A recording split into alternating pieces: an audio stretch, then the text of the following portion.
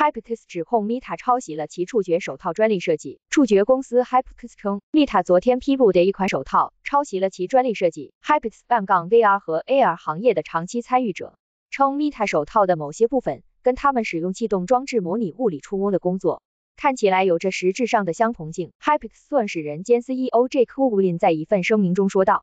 我们欢迎对微流体触觉领域的兴趣和竞争，然而竞争必须是公平的，这样才能使该行业蓬勃发展。虽然我们还没有听到 Meta 的消息，但我们期待着跟他们合作，以达成一个公平公正的安排，解决我们的担忧，进而使他们能够将我们的创新技术。纳入他们未来的消费产品中。密探手套是一个正在进行中的设计，如果有的话，几年内都不会被商业化。Hypixel 的前身是 X Onward，在隐身四年后于二零一六年首次公开亮相。密塔的研究人员称，他们在二零一五年中期开发的第一个手套原型就在这家家科技巨头收购 VR 初创公司 Oculus 不久。多年来，我们接待了许多来自 Meta 的工程师、研究人员和高管。以展示我们突破性的触觉技术，乌宾说道。此前，，Meta 一直被指责通过克隆他们的产品，跟 VR 软件开发商展开不公平的竞争，并与此同时限制了对 Quest 平台的访问。Hypixel 拒绝就其认为跟 Meta 达成的公平协议发表评论，也拒绝评论如果无法达成协议是否会提起诉讼。